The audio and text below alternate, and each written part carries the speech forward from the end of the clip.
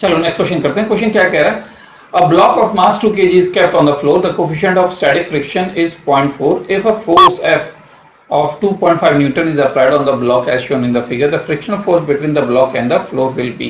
देखो फोर्स आप इधर लगा रहे हो intention of motion right side में है तो फ्रिक्शन फोर्स ऑब्वियस बात है इंटेंशन ऑफ़ मोशन के अपोजिट डायरेक्शन में लगेगा अब अर्थ इसको खींच रहे हैं gravitational force F G is equal to M into G से तो नॉर्मल रिएक्शन जो होगा इसी के इक्वल होगा एम इंटू जी के इक्वल होगा और फ्रिक्शन फोर्स की वैल्यू होती है म्यू इंटू एन और ये जो फ्रिक्शन फोर्स हम निकाल रहे हैं वो लिमिटिंग फ्रिक्शन निकाल रहे हैं।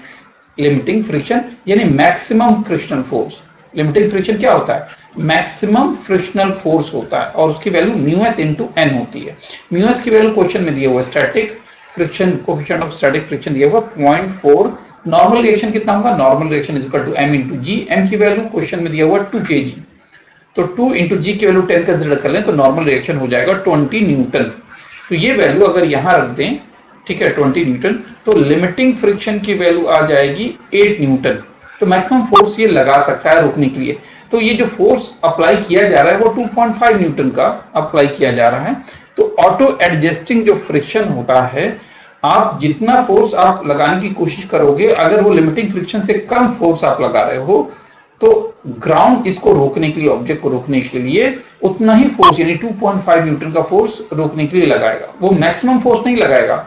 ये 8 न्यूटन का 8 न्यूटन का फोर्स जो ग्राउंड नहीं लगाएगा, ये 8 न्यूटन का फोर्स मैक्सिमम फोर्स है, जो मैक्सिमम वो लगा सकता है। लेकिन रोकने के लिए लगाएगा कितना? जितनी ज़रूरत होगी उतनी लगाएगा। तो अगर आप एक्सटर्नल फोर्स आप अप्लाई कर रहे हो 2.5 न्यूटन का तो ग्राउंड रोकने के लिए सिर्फ़ 2.5 न्यूटन का ही लगाएगा मैक्सिमम यानी 8 न्यूटन का फोर्स वो नहीं लगाएगा। तो आंसर कौन सा अप्रोप्रिएट है? 2.5 न्यूटन का। अक्सर ये गलती हो जाती, किसी से भी हो सकती है।